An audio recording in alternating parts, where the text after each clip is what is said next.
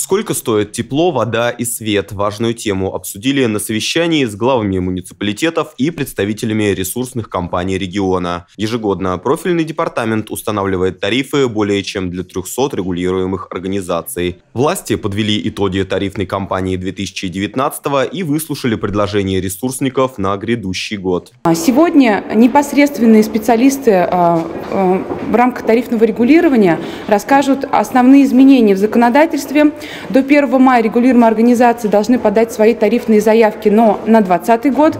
Соответственно, а, сейчас мы укажем на основные проблемы или какие-то а, неточности в предоставлении документов для утверждения тарифов на а, последующие периоды регулирования.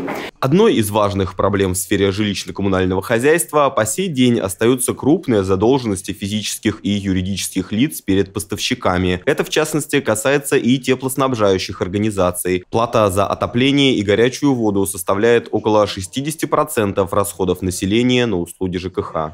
Мы понимаем всю ответственность перед населением за величину тарифа. Также считаем, что мы должны оптимизироваться, и это мы делаем ежегодно, снижая свои издержки. Следовательно, мы сдерживаем а, рост тарифов. С 1 июля мы а, переходим на а, Э, прямые отношения с, практически со всей частью города Иваново. ИГТСК, акционерное общество Ивановская городская теплосбытовая компания, прекращает свое существование, поэтому мы выходим на потребителей напрямую. Поэтому наш тариф будет э, фактически э, единым на территории всего города Иваново.